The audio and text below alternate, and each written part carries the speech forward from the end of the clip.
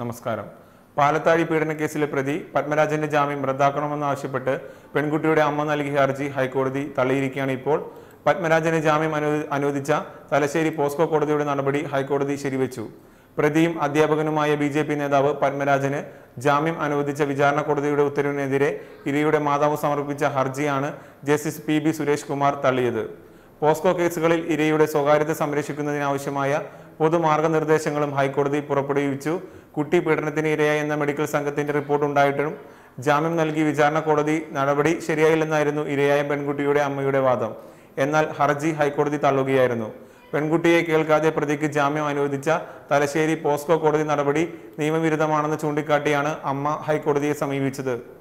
ഉന്നത സ്വാധീനമുള്ള പ്രതി പുറത്തിറങ്ങിയത് കേസിലെ സാക്ഷികളെ സ്വാധീനിക്കാൻ കാരണമാകുമെന്നും ഈ സാഹചര്യത്തിൽ പ്രതിയുടെ ജാമ്യം റദ്ദ് ചെയ്ത് വിചാരണ തുടങ്ങണമെന്ന ആവശ്യമായ നടപടി സ്വീകരിക്കണമെന്നും ഹർജിയിൽ ആവശ്യപ്പെട്ടിരുന്നു. പെൺകുട്ടിയെ പീഡിപ്പിച്ചിട്ടില്ലെന്നും ബി ജെ പി അനുഭാവി ആയതിനാലാണ് ആരോപണം ഉന്നയിച്ചതെന്നുമായിരുന്നു പ്രതിഭാഗം കോടതിയെ അറിയിച്ചത്. ഹർജിയിൽ ക്രൈംബ്രാഞ്ച് നിലപാടും ഏറെ ചർച്ചയായിരുന്നു.